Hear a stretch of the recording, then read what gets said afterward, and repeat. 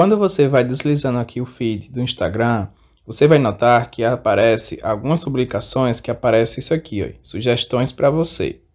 Isso aqui vai de acordo com o seu interesse. Basicamente, o algoritmo do Instagram vai lendo aí o que você mais se interessa e vai sugerindo aí cada vez mais aqueles conteúdos que mais tem a ver com você.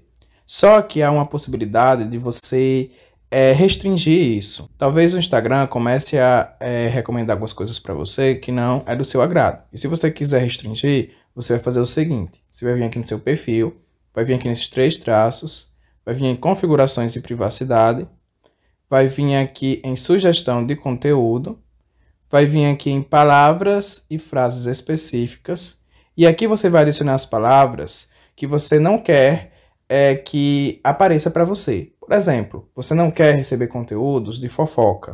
Aí geralmente os conteúdos de fofoca tem hashtag fofoca, alguma coisa assim. Aí basta você adicionar, ó, fofoca. Aí botar um underline aqui. Aí você não quer receber conteúdos de uma pessoa específica, ou de um programa, por exemplo, BBB.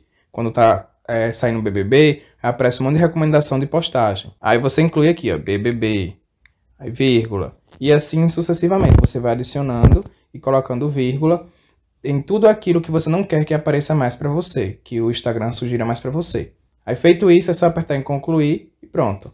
Se você quiser editar, é só vir aqui novamente, certo? E adicionar novamente as outras é, palavras que você não quer que seja inclusa, beleza? Aí pronto. Automaticamente o Instagram não vai mais recomendar eh, conteúdos que tenha essa hashtag ou essas palavras.